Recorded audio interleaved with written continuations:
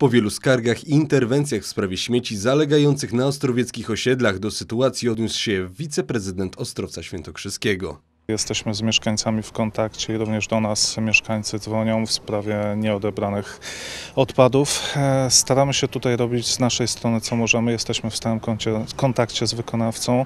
Również ponaglamy go w wielu wypadkach. Są to tysiące informacji przekazywanych do wykonawcy maili, telefonów, e, ponagleń i akcji takich mobilizacyjnych, jak również spotkań e, z wykonawcą. Takowe spotkania odbyły się również w, w ubiegłym tygodniu i dwa tygodnie mm, temu. Powoli ta sytuacja się normuje, jednakże zaszłości, które mamy z tych trzech, czterech tygodni powodują to, że rzeczywiście ciężko e, w wielu wypadkach tą sytuację nadrobić.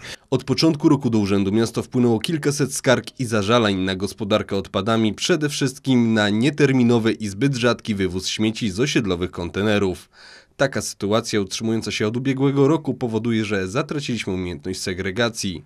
Jak zapewnia wiceprezydent Ostrowca Świętokrzyskiego, pracownicy Urzędu Miasta prowadzą pełną ewidencję dokumentów i monitorują sytuację, a na firmę odpowiedzialną za wywóz odpadów z terenu Ostrowca Świętokrzyskiego nałożono już kilkaset tysięczne kary, które wkrótce powinny zostać wyegzekwowane, ale na dzień dzisiejszy procedury są zablokowane ustawą antykowidową.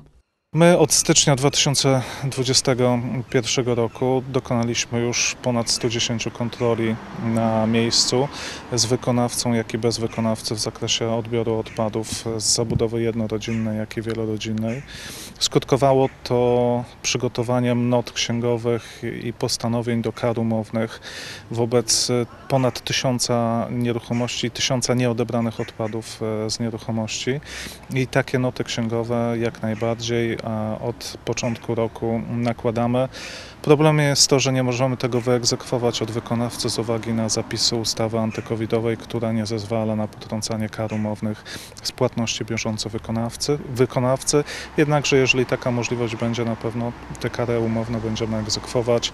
W tym roku jest to już kwota ponad e, 550 tysięcy złotych którą będziemy egzekwowali po ustaniu e, okresu pandemii. E, w ubiegłym roku również do takich sytuacji mm, dochodziło i też takie kary umowne na wykonawcę były nakładane. Była to kwota ponad 700 tysięcy złotych. Urząd Miasta w Ostrowcu Świętokrzyskim dysponuje również innymi narzędziami i zapisami w kontrakcie, które upoważniają magistrat do zlecenia wywożenia odpadów przykład innej firmie. Gmina ogłosiła już przetarg na gospodarowanie odpadami komunalnymi w Ostrowcu Świętokrzyskim w okresie od 2022 roku do końca 2024 roku. Otwarcie ofert zaplanowano na 8 września.